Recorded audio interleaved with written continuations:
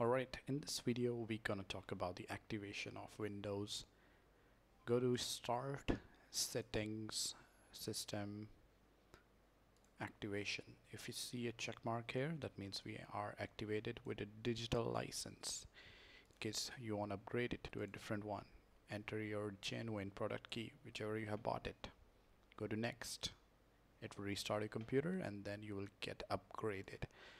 I have upgraded from Windows 11 Home to Windows 11 Pro as you can see here so make sure you bought a genuine key from websites I'll just link down below in the description one website for you can check it out because that works for me and that's a good website all right see you guys next time